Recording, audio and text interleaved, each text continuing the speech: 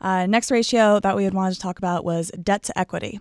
Uh, so this this one basically tells you how much debt is being used to finance your assets relative to your equity.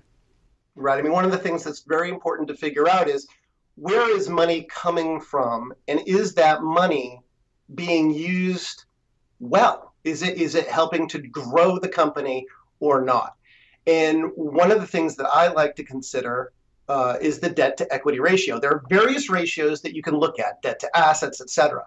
I happen to prefer the debt to equity ratio because it's telling me how much of the money is being financed by loans and how much is being financed by investors. Okay.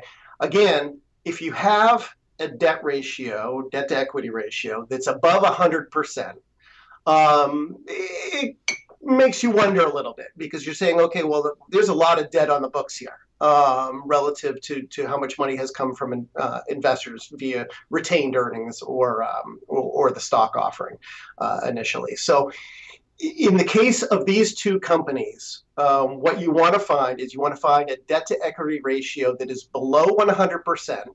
Lower is typically better than higher. Um, and, and, again, since both of these are very big companies, um, you know, you shouldn't fault them for having some debt. So again, somewhere between zero and 100% is great. And Christine, would you do the honors and tell us what those numbers are? I'd love to. So Pfizer clocks in at 58.18 and BMY comes in at 47.69. So that's right in that sweet spot that you were talking about. And the advantage again goes to Bristol.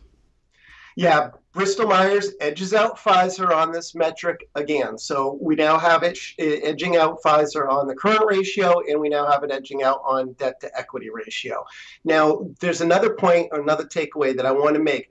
The reason that we're using ratios rather than absolute numbers, I mean, you could look at it and say, wow, well, you know, Pfizer has more total cash on the books, right, than Bristol Myers.